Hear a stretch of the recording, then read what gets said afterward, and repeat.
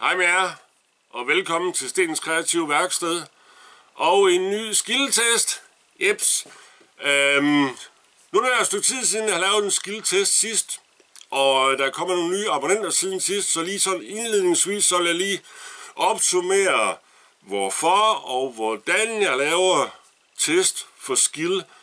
Øhm, for omkring et års tid siden, tror jeg det var, blev jeg kontaktet af Skill, og de spurgte mig om, om jeg, om jeg kunne have lyst til at teste en af deres værktøjsmaskiner, en akkuboremaskine, og det synes jeg, det kan være meget spændende. Og det har så udviklet sig til, at nu har jeg det sidste års tid, sådan cirka, så har jeg testet en hel del værktøjsmaskiner, og også nogle enkelte havemaskiner for skil. Og øh, hvis der er nogen af jer, som ikke har set nogle af de film, så gå ind her på min YouTube-kanal, og så skriv skill i søgefeltet, så kommer der en helt vild masse film om det. Og øhm, den måde, som jeg laver testene på, det er på min helt egen måde. Det er ikke sådan, at Skill lige har givet mig et manuskript, når jeg skal lave en test, og så sige, du skal sige det her, og du skal gøre sådan, og du skal gøre sådan, og du skal bruge de her ting. Jeg bestemmer helt selv, hvad jeg gør, og det er det, som jeg synes, der er rigtig fedt ved den måde, som jeg gør det på for skilde, det er, at jeg må gøre lige, hvad jeg har lyst til. Og øhm, nu er det heller ikke sådan, at Skill de får filmen her og se, og skal kontrollere den, inden I ser den her på YouTube. Fordi når jeg har lavet filmen færdig, så lægger jeg den op her på YouTube, og så sender jeg en besked til Skill, og så skriver jeg til dem, nu er der en ny testfilm på YouTube, så det kan faktisk være, at I er heldige at se filmen, før at nogen fra Skill ser den. Ja. Og nu må vi hellere komme i gang med at lege med noget værktøj. Boing!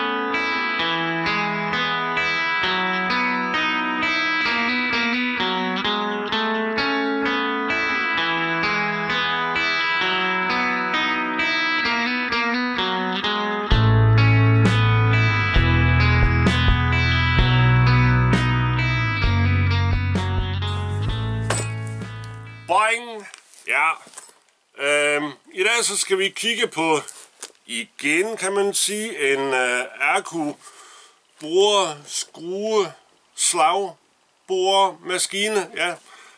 Dem er jeg ved at teste nogle stykker af. Og øhm, nu for et godt stykke tid siden, så var en, der skrev til mig, at øh, skilde det er nok måske et godt hobbyværktøj. Skilde er så meget mere end hobbyværktøj, og det er så det, vi skal prøve i dag, fordi at, øhm, det her det er sådan en dejlig 18 volts bore, skrue, slagboremaskine, og det her, det er det, man kalder for en håndværkermodel. Så det skulle være rigtig godt. Og så skal vi lige kigge på vores snydesel her ved siden af, bare sådan lige til at starte med. Øh, 18 volt, kulfri motor er har model nummer 3071, og eftersom det er en kulfri motor, den har sådan en fætter her, så får man 5 års garanti på den her børge her. Så det er rigtig godt. Øh, bare sådan lige lidt tekniske data til at starte med, så har den et max moment på 120 Nm. Nu er der mange flere tekniske detaljer, men dem vender jeg lige tilbage til. Men først så synes jeg lige, at vi skal pille den her ud af kassen. Nu er jeg jo igen som jeg næsten plejer, modtaget den her maskine, vi skal kigge på i dag, som en solo-version. Og det vil så sige, at jeg får kun boremaskinen og så et par andre småting. Øh, så der er ikke nogen lader, og der er ikke noget batteri til. Men maskinen her kan man godt købe med lader og også med batteri til. Og øh, nu kan vi så se, hvad vi får her. Øhm, fordi at vi får jo brugsforvirringen, og vi får også boremaskinen, og så er der sådan et dejligt håndtag med til at sætte på boremaskinen, og så er der så sådan et billedklips her.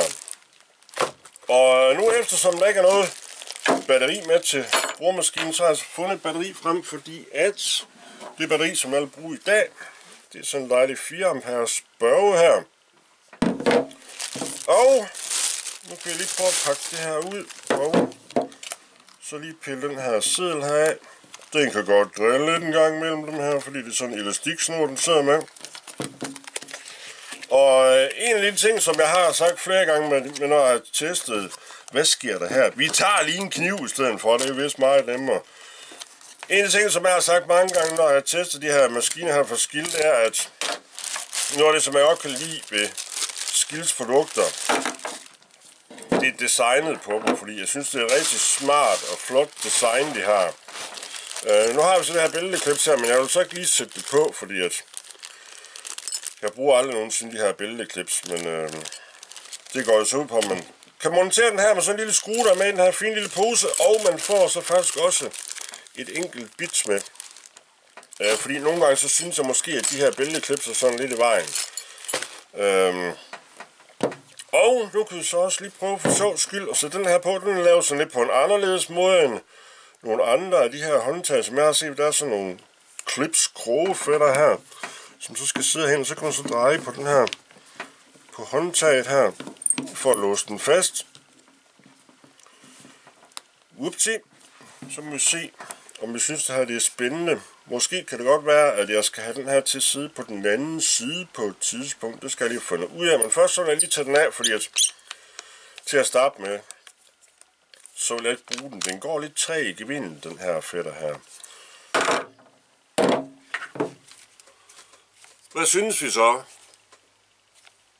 Som altid, så ligger de her Ergobo-maskiner rigtig godt i hånden. Jeg kan godt lide den måde, som grebet her er lavet på. Øh, nu kan jeg så godt mærke på den her, at det er en lidt dejlig, kraftigere version, den her, fordi at den vejer lidt. Hvor meget den vejer, det ved jeg ikke lige. Øh, men det kan være, jeg lige finde ud af det lige om lidt. Og jeg kan lige prøve at sætte batteriet her på. Så kommer det så til at veje endnu lidt mere, eftersom det er 4 amperes batteri, men øh, nu skal det også være noget man at godt af på det her i dag, fordi vi skal prøve nogle sjove ting og sager med den her. Ja. Øh, en anden ting, man kan lige sige, det er, at øh, den har 24 momentindstillinger på den her børge her, når man bruger den som skruemaskine. Øh, det er en del flere end nogle af de andre skruemaskiner, boremaskiner, akkuboremaskiner, som jeg har at for skill har. Øhm, og så har vi jo så også, man kan sige, muligheden for almindelig boremaskine, skruemaskine og slagboremaskine, hvilket man kan se her på toppen her. Ja, så drejer man på den her fætter her. Dyt, dyt. Øhm, og øhm, det tror jeg faktisk, det er rigtig fint det her. Her på toppen har vi sådan en knap her, som man kan skifte med høj og lav hastighed. Og så har man så her på siden her, det greb her, hvor man kan skifte fra højre og venstre løb.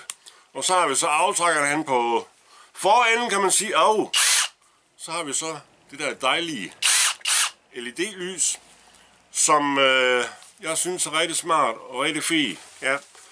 Øhm, og selvfølgelig selvspændende borepatron. Max størrelse 13 mm. Og på den her, der er det hele lavet af metal herhen. Og det synes jeg, det er rigtig godt, når man gør det, fordi så er der en chance for, at det holder lidt bedre, eller måske meget bedre. Vi skal lige prøve fuld gas. Ja, ikke værst. Øhm, au! Nu vil jeg prøve at komme i gang med at lege lidt med den her. Ja. Det jeg lige vil starte med at teste her i dag, det er, hvordan virker den her, når man skal putte nogle skruer i. Og nu eftersom det her det er sådan en kraftig maskine, så øhm, synes jeg ikke, jeg vil bruge tid på at rode med at skrue meget små skruer i og sådan noget. Så det jeg har fundet frem nu her, det er, at jeg har nogle 5 gange 100 mm bollenskruer, og så har jeg nogle 6 gange 50 mm franske skruer. Nu vil jeg så lige prøve at fyre nogle af dem i min testpind her, og så se hvordan at, at det virker. Og nu kører vi så på den lave hastighed lige nu. Au! Så sagde jeg, fik jeg den så sat på det allerlaveste moment. Hvad skal vi prøve her? Hvad skal vi prøve her? Det var ikke den der. Det var ikke den der. Det var den her. Vi prøver på 15. Ja, og så se, hvor langt vi kunne køre ned her.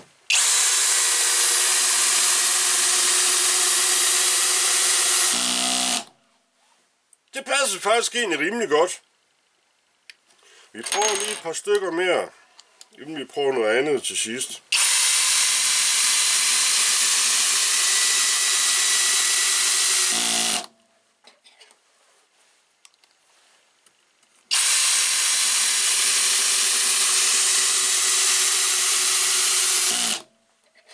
Det går faktisk rimelig godt. Ja.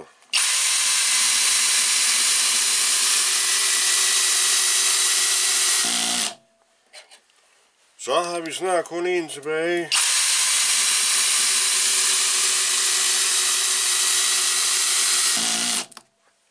Som man måske kan se, så er den her overhovedet ikke nogen problem med at skrue de her skruer i. Nu prøver vi lige noget andet, fordi nu sætter den lige over på, som jeg bruger den som boremaskine. Og nu vil jeg så se, hvad den kan med den her skrue her, og hvor langt jeg kan få den møjet ned i det her stykke træ her. Måske inden skruen brækker eller eller andet.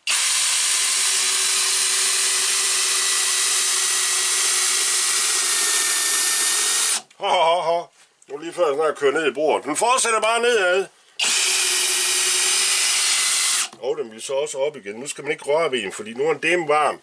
Vi prøver lige at lave et skift her. Ja, og nu har jeg så desværre ikke sådan nogle rigtig toppe bit, som jeg ikke har fået købt endnu. Så derfor så bruger jeg lige sådan en forlænger her til et topnøglesæt.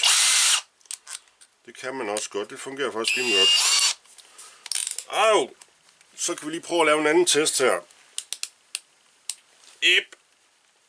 Nogle gange ved nogle boremaskiner, så når man spænder borepatronen her, så hvis man tager rigtig voldsomt ved dem, så kan man få dem til at takke over ind i gearkassen.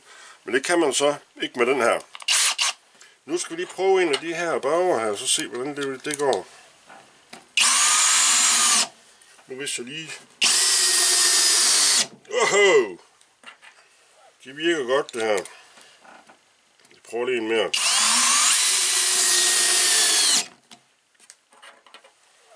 Og den kan møge dem helt ned i bunden.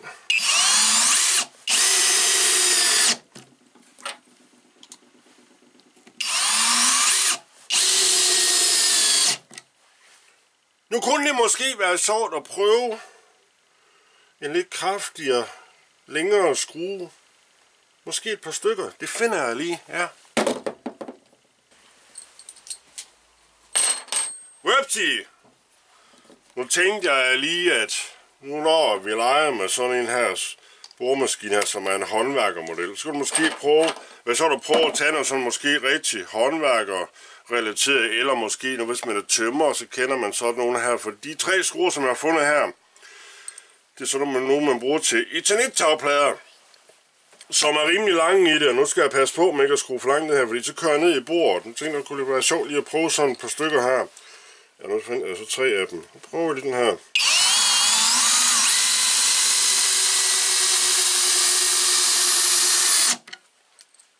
Vi kan godt køre lidt længere, da. Ah, der var den. Nu skal vi se beskaffenheden på vores træ her. Fordi at, jeg ved ikke om det er nemt at se, lige her, der har vi en knast, og lige her har vi også en knast, faktisk en stor knast, den her. Så nu vil jeg prøve at tage først en skrue her og skrue her ned i, hvor vi har en knast her, og så bagefter så vil jeg tage en anden en, og så skrue den ned her. Og så prøver lige at se forskellen lidt på det her.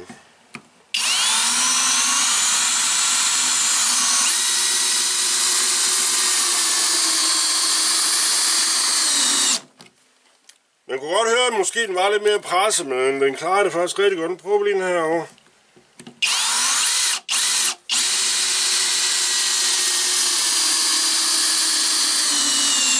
Wow.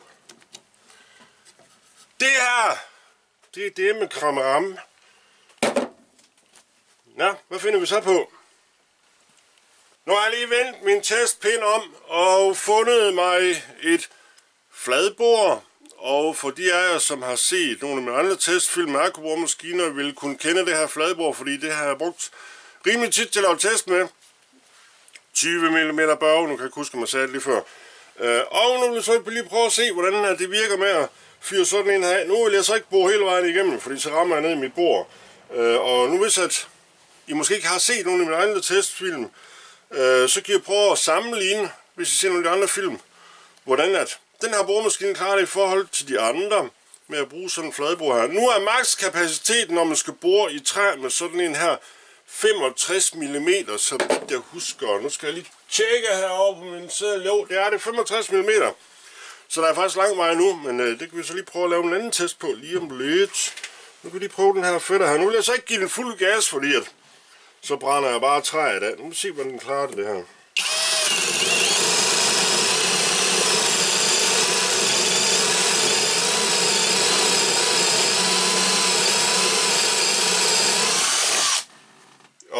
Ja, Det går faktisk rimelig godt. Øhm, nu tror jeg måske lige, at jeg vil finde mig et andet stykke træ, og så et kopbord. Ja. Eller hulbord, om man vil. Ja, så røg jakken lige af, fordi jeg fik lige varmen lidt da. Ja, fordi nu står jeg lige og gør klar til den næste test her, så står jeg også lige og pillede nogle der skruer ud af den der pæn, som jeg stod med lige før, og der skete der faktisk på en måde, kan man sige, lidt en træls ting. Ja, men så fandt man så ud af, hvor kraftig den der boremaskine er, fordi at en af de der øh, øh, øh tagskruer der, tagpladeskruer, som jeg så ville prøve på at skrue ud, der fik jeg kun den her deroppe igen, ja, fordi den brækkede, ja. Og nu sagde jeg lige før, at makskapaciteten på at bore i træ er 65 mm. Nu har jeg så prøvet at gå lidt over med det her kopbord her, fordi det her kopbord er 74 mm. Og nu vil jeg så prøve at bruge det her kopbrud til lige at fyre et hul igennem inden på det her bræt, jeg har til at sidde her. Og det her bræt, hvad er det sådan cirka 20 mm tyk. Altså, nu er der så lidt skruehuller i og sådan lidt, men det sker der ikke så meget ved. Og så er der også lige lidt knastværk her i enden her, så det bliver spændende at se, hvordan at vi klarer den. Og nu igen, så skal jeg så lige huske at sige, at de her kopbord, som jeg har, er ikke sådan verdens bedste kvalitet, så derfor så bliver jeg måske nødt til at stoppe midtvejs, så lige tage bordet op, og så lige gøre de her savtænder her rene for spåner, og så lige køre en tur mere.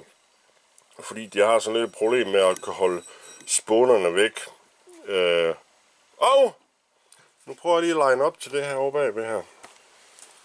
Du, du, du, du, du. Så må vi se, hvordan det går. Nu skal vi først lige have brugt vores hul her til at starte med. Hvordan skal vi gå ud i det der knastværk? Nu hvis jeg går helt ud på kanten her, så bliver det måske lidt sjovt. Og nu er der måske også en chance for, at vi har et par gamle søm til at sidde hen. Det tror jeg nu ikke. Der er sådan et par gamle sømhuller her, fordi at nu er det her sådan et gammelt emballagetræ, og bruger til det sjov her. Nu må vi se, hvordan det går det her. Så kommer vi ned i bund. Nu prøver vi at se, hvad der sker.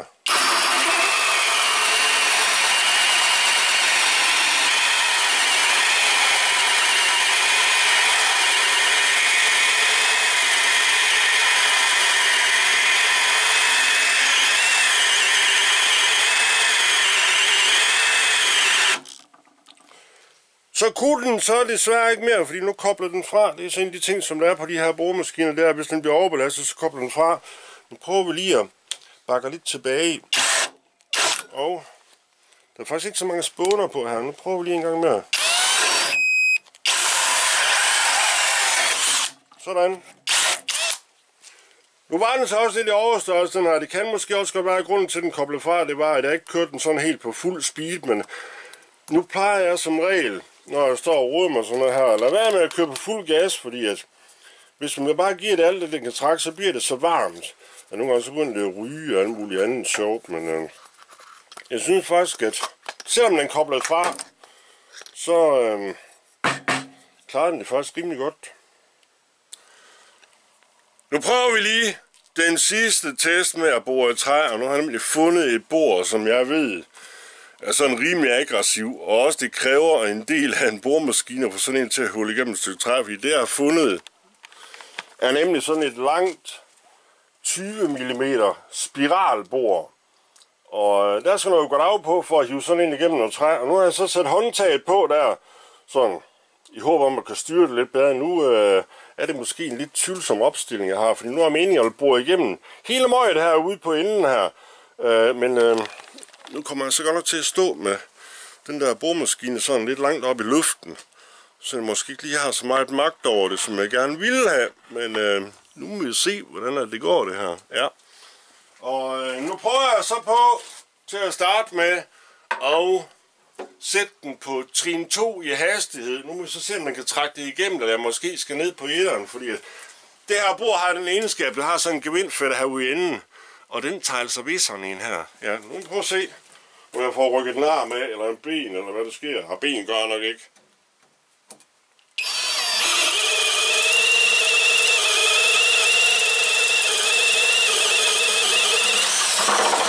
Ho, ho, ho. Det er faktisk rimelig godt, det her. Og jeg havde faktisk ikke sådan helt vild gas på den her. Måske skulle vi lige prøve igen på lidt hurtigere hastighed, så se hvor hurtigt man kan fyre igennem sådan en fætter her.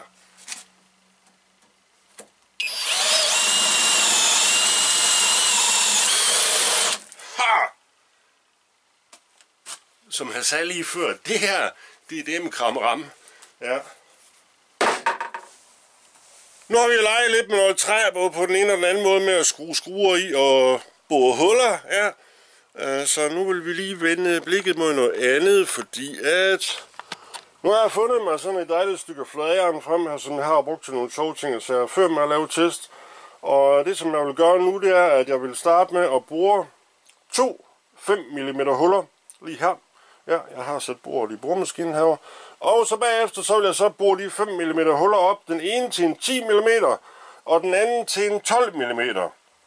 Nu er max borekapaciteten i stål med sådan en fætter 13 mm, men øh, jeg har desværre ikke lige 13 mm bor lige nu, Nej, så vi må nøjes med en 12 mm.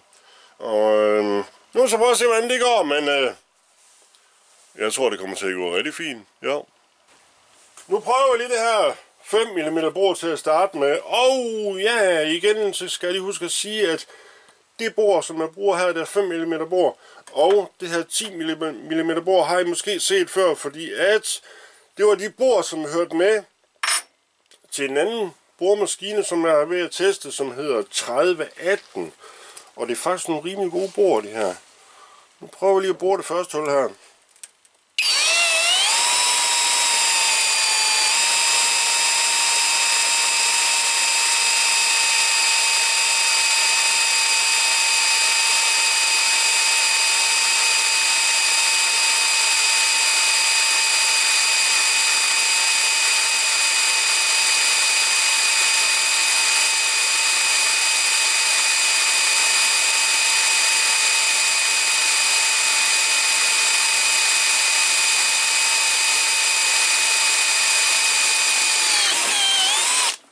Sådan. Nu er nogen, der vil sige, hvorfor bruger du ikke skæreolie eller boreolie? Det plejer jeg også at gøre. Nu lad os så lige gøre det til det næste hul her, så kan vi måske se forskellen. Der er godt.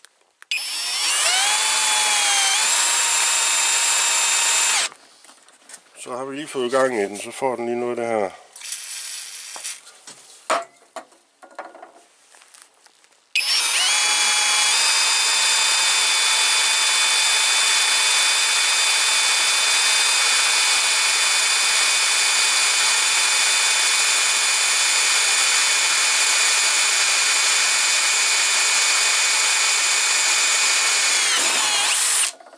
Det gik faktisk en hel del bedre med det der skære borolie der. Nu hvis der måske er nogen, der vil sige, du giver den ikke fuld gas den her, så, så vil jeg så bare sige, nej, men det er heller ikke nødvendigt at give sin boremaskine fuld gas, når man borer huller og sådan noget, fordi at man har chancen for, at man brænder sit bor af, hvis man kører alt for hurtigt. Og nu, øh, som jeg plejer at sige, så kan jeg også godt lide, at tingene går sådan lidt stille og roligt. Og nu bruger jeg så de her huller heroppe med en 5 mm, så er der nogen, der vil sige, det er et for stort bord, så når du skal bruge et 10 mm bord, men nu plejer jeg at gøre det sådan her. Og det plejer også at virke, og som jeg også plejer at sige, så er det sådan set ligegyldigt, hvad man går i gang med sin opgave, bare man får den løst. Nu må så se, hvordan det her det går.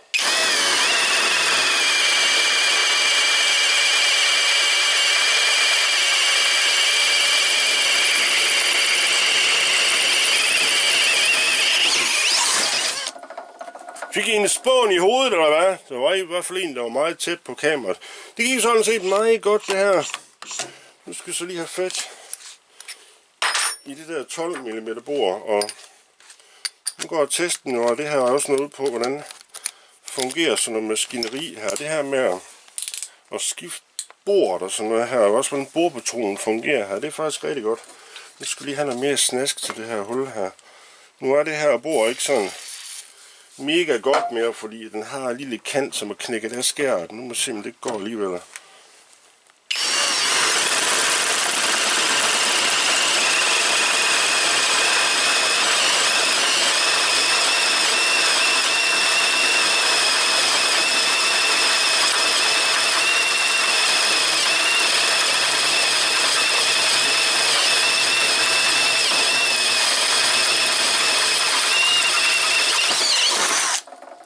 Sådan, så burde det med huller.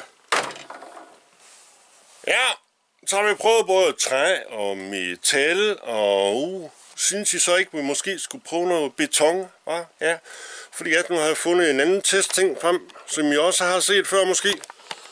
Nemlig i min dejlige sjove flise her, som der er et par huller i forvejen, og det andet hul kan I så ikke se, for den gemmer sig indunder. Og nu har jeg så monteret mig et 12 mm diamantbord i boremaskinen her, og nu kan jeg ikke huske, det var ikke noget med 16 mm, at... Jo, det var det.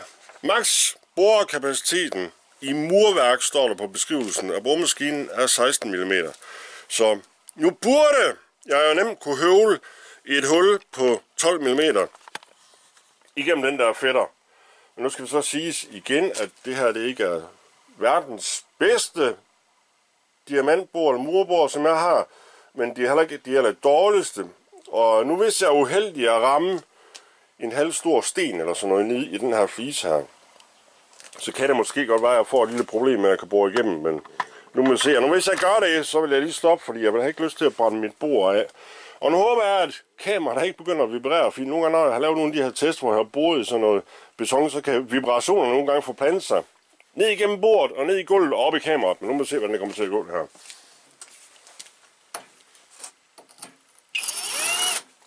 Nu hvis jeg måske lige sætter den over på slagbord, så kan det være, det er bedre. Hvorfor glemmer jeg altid det?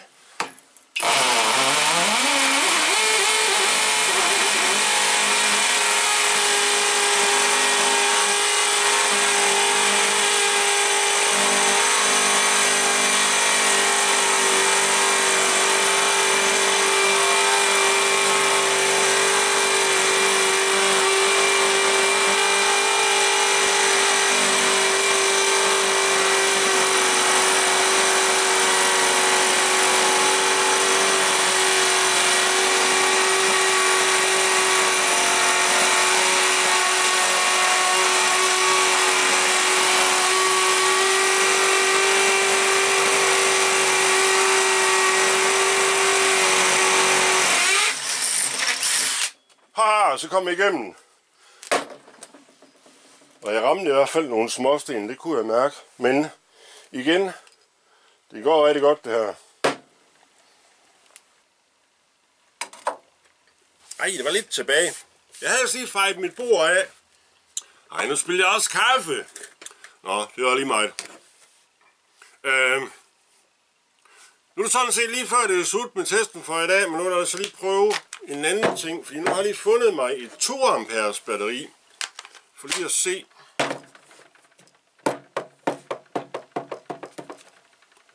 Fordi den er tung op i toppen, den her. Så tænker jeg, nu hvis man sætter 2 amperes batteri på, hvordan er balancen så i den? Man kan sige, hvis nu man bruger 2 amperes batteri, så har man selvfølgelig ikke så meget power.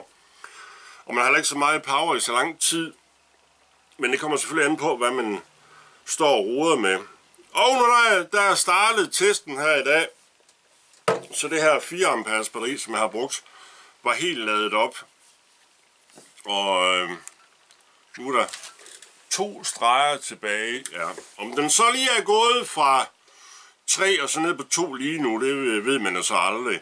Og nu har jeg så også stået og rodet lidt mere med den her boremaskine med nogle ting, end det jeg har set her på filmen. Men stort set, så det her er mit allerførste indtryk. Og det er også det, som jeg gør noget ud af på de her testfilm, det er, at jeg tager maskinen ud af kassen, og jeg står og ruder med den for allerførste gang for at se, hvordan det fungerer, og om også der er nogle ting, man måske kan dumme sig med, man ikke lægger mærke til, eller sådan noget. Men øhm, i det store hele, så er det her, som jeg har sagt før, det er en rigtig fed maskine, fordi at der er power på den, og den er stærk, og der synes jeg også kræfter i overskud til, til mange ting. Nu er der måske nogen, der vil sige, jamen sådan en test, som du viser her i dag, den siger ikke ret meget om sådan et stykke elværktøj her. Det gør det sådan set heller ikke, men nu er min test jo så ikke slut med det her stykke elværktøj, fordi at nu er det næste stykke tid, så lad bruge den her akkuboremaskine, når jeg går og laver nogle ting og sager her i værkstedet. Og når der så er gået et stykke tid, så finder jeg den frem igen, og så laver jeg sådan en lille review af den. hvordan jeg så synes, at det fungerer, fordi at man finder først ud af, hvordan sådan en maskine her den virker, når man rigtig begynder at bruge den til, hvad jeg vil sige, rigtige arbejdsopgaver. Ellers så har man ikke sådan rigtig fornemmelsen af det, det synes jeg i hvert fald. Men mit første indtryk det er, at det er en rigtig fed maskine, og det er en stærk maskine, og jeg tror faktisk også, det er en rigtig robust maskine. Og igen, som jeg har sagt før, så kan jeg rigtig godt lide Skills design. Jeg synes, det er nogle rigtig flotte og man kan sige pæne maskiner, de laver. Det ser godt ud. Øhm, og nu hvis der er nogen af jer, der tænker over, hvad koster sådan en fætter her? Øh, lige nu på HMW Tradings webshop, der koster sådan en her som solo-version 1049 kroner er. Ja man kan så også godt få dem til sådan en sammenpakket version, kan man sige, hvor man får batterier og lader og ting og sager, men der kan jeg ikke lige huske, hvad den koster der. Men i beskrivelsesfeltet hernede under filmen, der kommer der et link til HMW Tradings øh, webshop, og så kommer der så også et link til Skill, Skills hjemmeside her i Danmark. Ja. Og øhm, indtil næste gang, så må I dem hygge jer.